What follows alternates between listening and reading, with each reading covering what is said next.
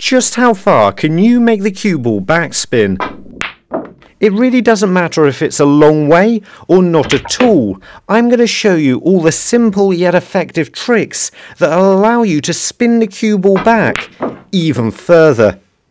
But backspin is generated by striking the cue ball below centre in exactly the same way that topspin helps the cue ball run through. And it's easier to explain why the cue ball runs through, so we're going to begin with that. The higher you strike the cue ball, the more topspin is produced. And the faster you play the shot, the further it goes. And the further you push your cue through the ball, the more topspin you're going to generate. And backspin works in exactly the same way, which can be a little bit confusing. Because the more you push your cue through in that direction, the more it comes back in this direction. Roughly half of how well you're able to play a screw shot will be determined by how far you're pushing your cue through the ball. And if you find you're not able to get any backspin at all on the cue ball, you're probably stopping instantly on impact. This common mistake is caused by the worry that the cue ball's going to come back so fast that you simply won't be able to get your cue out of the way in time. So when you practice backspin, always use off straight shots because in this way I can now push my cue all the way through the ball without ever risking it being in the way. But backspin also requires you to hit close to the edge. And it may sound silly, but you're not going to be able to do that with a broom handle. Oh, nearly. Equipment is a big factor here, and it's not really the type of tips you're using, it's the condition of them. If it's not a smooth dome shape covered in a thin layer of chalk, then you'll struggle to play any of the shots coming up here. Speed is also a factor as the spin gradually comes off the cue ball as it begins to slow down. But when it makes contact with the object ball... It doesn't matter how fast it's moving, with a full contact it will stop completely dead. From this position it will then only move in the direction it's spinning.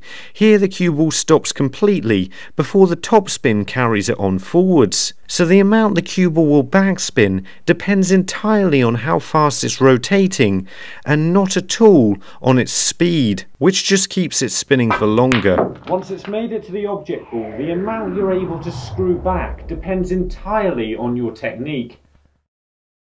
But of course your technique is also going to be incredibly vital. The skill to it is to be able to hit as low as possible without getting a miscue and it's your technique that can make a huge difference in this area. The main reasons that backspin is lost are striking down at the cue ball from too high of an angle, or possibly even dipping down at the cue ball, and scooping up, all of which can cause a reduction of spin or even miscues. But you can solve these problems and create a lot more spin by simply improving three separate elements of your cue action. And the first of these is actually how much you rotate your cue as you play the shot. Rotating your wrist could cause you to cue across the ball, and that might even result in you missing the pot. But it could also cause you to cue at an inconsistent height, like we saw earlier. Put simply, you may strike higher on the cue ball than you expect to and get no spin, or lower than you expect to and end up with a miscue. The cue rotating on its own is unlikely to have any effect, but it will cause unnecessary wrist movement and that can start to cause you problems. Of course, you don't have to be getting this as dramatically wrong to miss difficult pots or to end up putting slightly less backspin on the cue ball than you'd like. So the more you can stop your cue rotating as you push it through the ball, the more backspin you're going to produce. So how can you tell if you've rotated your cue? Well, you can use the grain in the wood. You can see at the beginning of the shot here that my cue's very clearly in a different position to where it ends up. And the only way I've ever been able to keep the grain in line is to control the position that my hand finishes in after it's played the shot. But you don't want to be thinking about this on the shot. You need to be concentrating on what you're playing the way to get it right is practice. Because I've practiced it, I know if my cue hand finishes there, not there or there, but there, then my cue won't rotate at all and I'll get more backspin on the cue ball. The way to do it is to play the shot and then work out where your cue hand is. Again, this takes practice to find the exact position your cue hand should finish in and attempt to get it there on each shot you play. But be careful because this is something that's very easy to get wrong and it can end up ruining your entire game. If it causes you to miss shots, then it isn't working and it's something you definitely shouldn't be messing around with. Before we look at anything else, let's just find Albo from Johor, Malaysia, which is in there. Now though, we've got to look at the height problem more directly. You can test if your cue's rising up off the shot or dipping by simply using a cushion. If you cue up next to it, you can see how level, in comparison to the cushion, you're able to keep your cue as you move it backwards and forwards. You can see with this super slow-mo that my cue wobbles a bit as it strikes the ball, but roughly goes through on the same plane. The more you can keep your cue on this line and stop it from wobbling, the more backspin you're going to produce. And you may have noticed with some of the shots that I've played during this video, my cue jumping up at the end, or possibly even dipping a little bit. Even though for most of the time I was in contact my cue would have been in the right position, this would still have reduced backspin, although with this one I was trying to point across the table at the same time. I would have produced even more spin on these shots if I'd managed to keep my cue on the same plane for longer. So what do you need to do with your technique to avoid dipping or lifting your cue as much as possible? To keep your cue as level as possible, you need to stretch out your fingers on the backswing, but still keeping them in contact with the cue, otherwise you'll lose control. And then tighten them up again on the way through, and this will help your cue to stay a lot more level. How straight you're able to push the cue through the ball can also make a small difference. And again, it's fairly straightforward to test. This time by cueing up straight along the baulk line, and seeing if you can keep your cue perfectly in line as you deliver it. If you can't, it's possible you're rotating your wrist a little bit too much as we observed before, but other possibilities include pulling your cue too tightly into your body, causing your cue to come round your body at an angle. Another possibility is you're releasing the cue completely on your backspin, which can cause you to lose control a little bit. And then, of course, there's the age old throwing your shoulder at the ball. But these tend to be the symptoms of problems rather than the cause, and the cause usually involves you not quite being in the right place for one reason or another.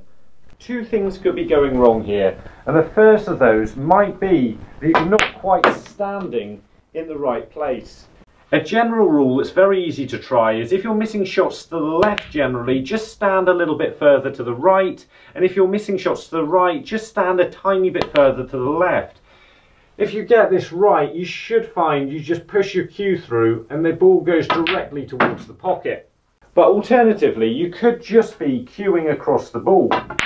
In which case, just try playing the cue ball through the spots a few times to see if you're applying any unwanted spin. If you can improve your cueing to allow yourself to play the cue ball straight back up and down through the spots, not only will this improve your potting, but as we'll see in a minute, may improve your spin. Before we look more at how to improve this, let's just find Arslan from Kabul, Afghanistan. Although they're not that effective on their own, these three elements together can make a big difference to your cueing. I realised this when testing this really weird phone app a few years ago.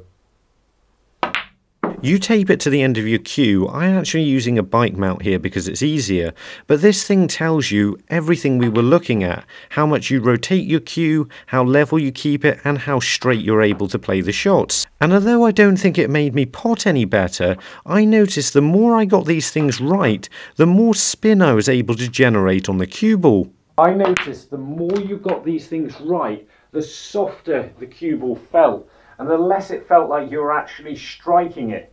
In the end, it feels more like you're pushing your cue through a liquid. And this simply helps you screw the cue ball back further. And it's not only about how much you can make the cue ball backspin. Personally, I think this is far more crucial. The extra backspin gives you the ability to hold the cue ball straighter, making it easier to get in position and play the game. To do this, you need to generate maximum spin with the least amount of power. And here's how you practice that. Again set up some off straight shots so you don't have to worry about your cue getting in the way, but try and pod the ball and screw the cue ball back to the cushion with the least amount of power possible. It may not always go smoothly, but eventually you're going to be able to get more backspin on the cue ball with less power. This will help you a lot with shots like this, where you need to put backspin on the cue ball, but you really don't want to strike it very hard. But what if you do add more power? Watch the cue ball here because when you play a shot at an angle, power can delay the backspin. So I can actually swerve the cue ball around the pink. And this allows me to play exhibition shots like this. I can screw the cue ball in between the pink and blue and come around two cushions out for the yellow. And I think playing shots like this with power is the most challenging thing. I can probably get a similar amount of spin on the cue ball as Judd Trump, but I simply can't hit it as hard as the same time. As you can see here, my cue ball didn't quite break as wide, so I couldn't play the shot as well. But it's the slow, draggy shot that's going to help you get higher breaks. And in my recent headcam video, it was one of the three main shots I was playing. So if you want to see the break or me recreating the Judd Trump shot I just played, then have a look at these two videos. And remember, don't just watch play, and make the commitment to becoming a better player by subscribing to the channel and visit the website. See you later.